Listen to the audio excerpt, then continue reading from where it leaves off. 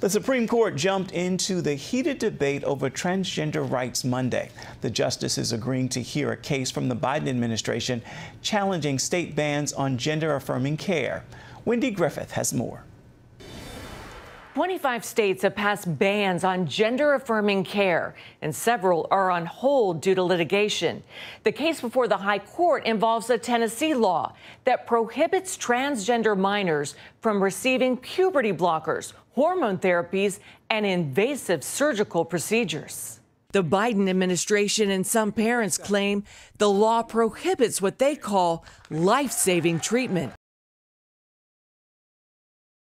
Welcome back to the cross reference. You heard it. You heard it once again. Here we go with the Supreme Court to make a decision that really affects some some major stuff. Thank you for joining me today. Do all the cool things. Subscribe, hit the bell so you know when new content comes out, and like and share this if you like it. Yeah, but you heard me right. Um, so if we go over here to NBC, uh, is it? M- it's yeah, it's NBC News. The Supreme Court to weigh state restrictions on gender affirming care for youth. The court is expected to hear oral arguments and make a ruling in its coming term, which starts in October and will end in June of 2025. Let's see here. Scrolling down, the Supreme Court on Monday waded into the cultural war debate over gender affirming care for transgender minors by agreeing to resolve challenges to a law in Tennessee that seeks to restrict it. I see you, Tennessee. I see you. I see you. We're watching and we're praying. The justices will hear a Biden administration appeal of a court ruling that held uh, that upheld the measure. Oral arguments and rulings are expected to be in the course next term. Blah blah blah blah. We already read that. The case marks the first time the court, which has a 6-3 conservative majority, it take that with a grain of salt because we just talked about how the Supreme Court um, basically said that yeah, states can, you know, back in 2022, they said states can make any law pertaining to um, abortion that they want to in their own states. Ah, ah, ah. But as of June 13th, they're like, oh, but you, the one thing you, you can't regulate is, is um, the, the medication that is getting mailed to people, regardless of state, that causes abortion. Anyways, Moving on. So take the conservative majority in the Supreme Court with a grain of salt, you know. I don't know. Maybe I'm being nihilistic. Maybe I'm being black pilled. But, anyways, um, this marks the first time that the court, which has a 6 3 conservative major- majority, will issue a ruling in the battle over transgender rights for teenagers. Okay. Well, I'm going to say there's no such thing, but okay. Which has raged in both the healthcare and educa- education contexts.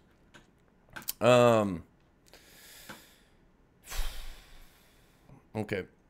Why do I say that there's no such thing? I mean, because youths need to grow up. Youths need to. They're, they're, they're, they're children. There's a reason why there's a reason why we have laws pertaining to um, minors and adults, and and and and, and you have to put you have to put a, an obvious year on when you become an adult. Now, some people are different than others. You can be an 18 year old who is who is ready to hit hit the world running and be completely successful and mature and and there's also a lot of 18 year olds out there who who you would think just turned 12. Let's be honest. But uh, legally speaking, there needs to be a line drawn, right? An, are an adult at 18. And as being an adult at 18 in this country, now you are granted certain rights because now in the, in the eyes of the government of the law you are now you are now considered an adult and able to make your own decisions okay like, well, actually, it used to be 18, but it's 21 now to buy cigarettes, 21 to buy alcohol. Insurance companies for, for males, when they, you know, when, when they're getting um, uh, liability insurance for their vehicle, they, they, they, their rates are extremely high until they hit 25 because insurance companies know that males in particular until they hit about 25 they're very um they're very uh thrill seeking behind the wheel shall we say. They're very um aggressive risky. They're careless. Not all but males men on the on the broader side. Yeah we like we like cars. And insurance companies know this. Um, 18 to 16 to get your driver's license, 18 to um, get a tattoo, because these things matter, and you you you you don't want children making a decision that they'll regret later on in life after they go through puberty, after they mature, after so many things. And if we're talking about puberty, that has a huge effect on a child's um let's just their sexual development but you have states like Tennessee stepping up and there are many more um but you have states like Tennessee stepping up and saying yeah we're not going to allow this type of um medical procedures or medical interventions on these type of ide- ideologies until the child is now an adult, and then if they still want to do that, okay, right? That's called, uh, you know, that's called freedom. You're an adult as long as you're not harming somebody else and you're not, you know, in this country. You have the freedom to do so if you want. You know, I don't recommend it. I'm God doesn't recommend it. It's nothing. It's nothing to that, that God would appreciate. But you have the right in this country to do so if you want, once you're an adult.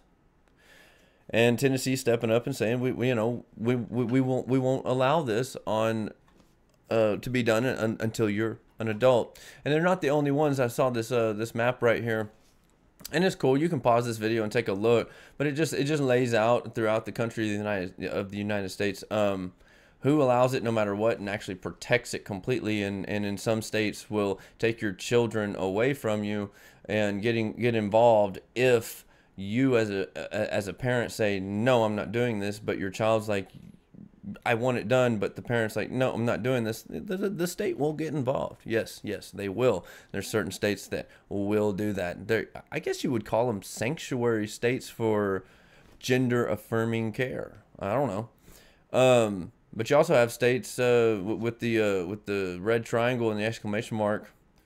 Uh, it says states ban uh, state ban makes it a felony crime to provide certain forms of of best practice medical care for transgender youth. And then you got other states that that are very very restricted on it, all um as well.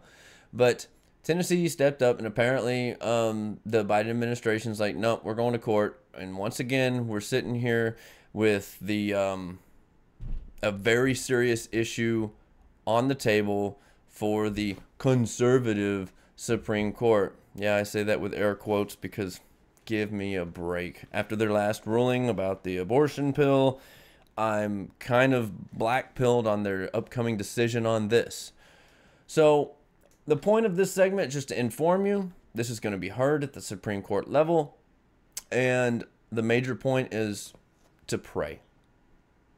Christian, brother, sister, in all sincerity, um, sometimes we get to to the point to where we're like, you know, you're prayed out.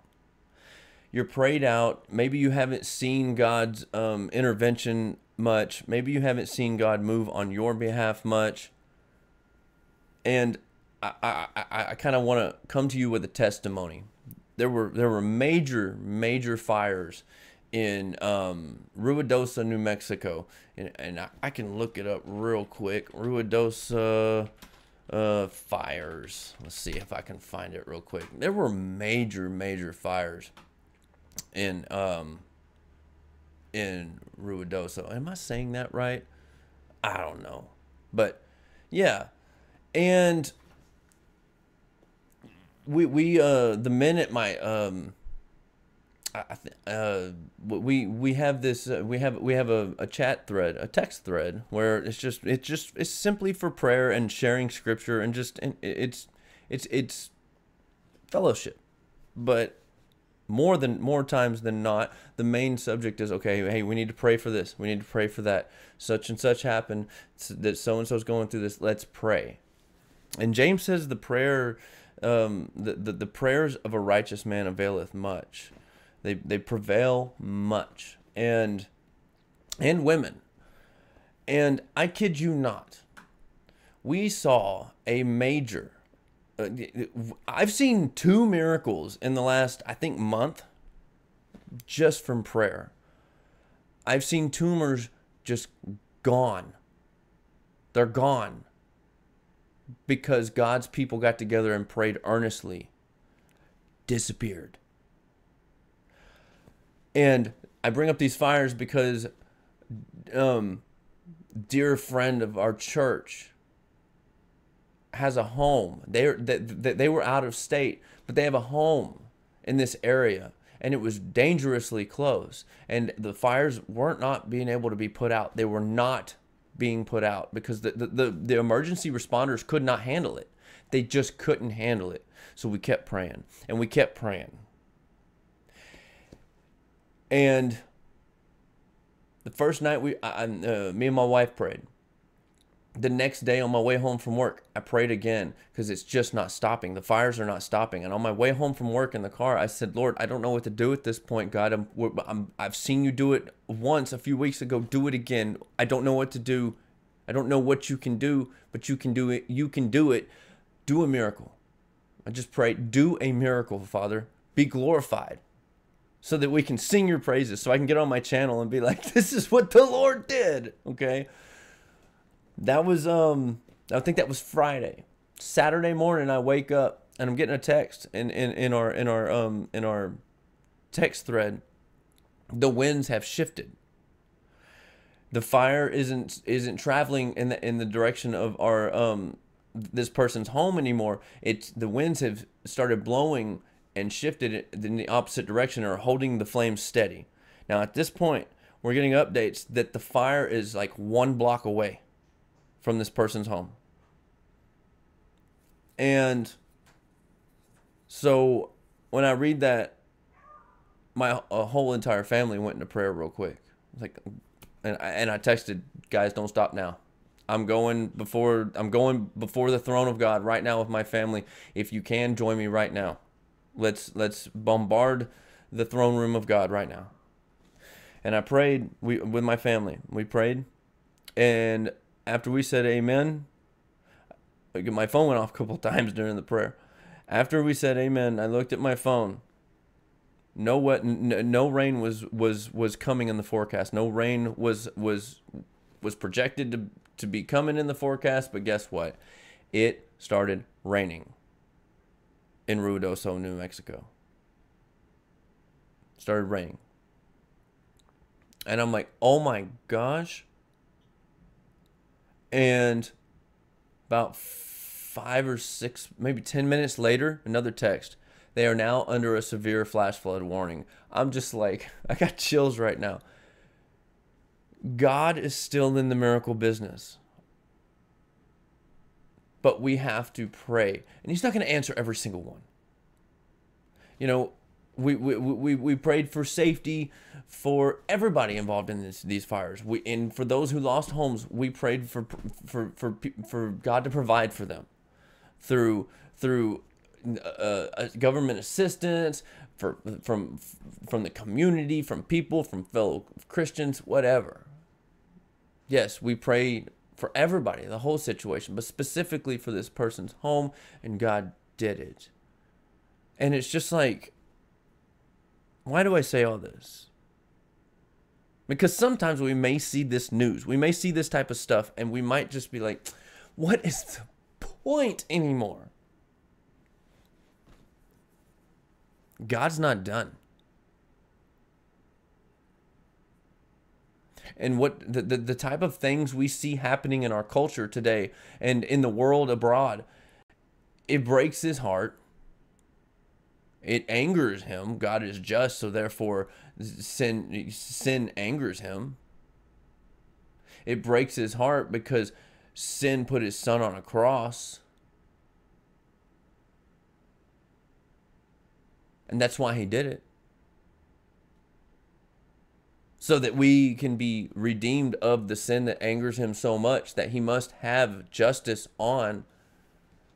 We can be forgiven by Christ's actions on the cross.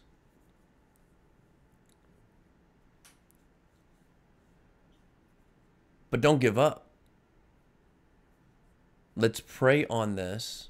This the the, the, the Supreme Court made it six out of three, six to three conservative majority, whatever that means anymore. Let's pray on this. Let's pray for our country. Let's pray pray for our leaders. Let's pray on this specifically. And let's pray for our brothers and sisters God's not done. And prayer is powerful. Remember, once again, do all the cool things. And I know you will because I know you're cool people. And I will see you on the next one. We got some stuff coming up um very soon. I think we're uh, I think we're going to start um I think we're to start being a little bit more consistent on our video output. Pray for that too if you feel like it. That's not really an important one. But um, and in the comments, uh, leave, leave anything in the comments that you that you uh, that you want to leave. Let's have a conversation. Anyways, remember whether you eat or drink, do it all to the glory of God. I'll see you guys later.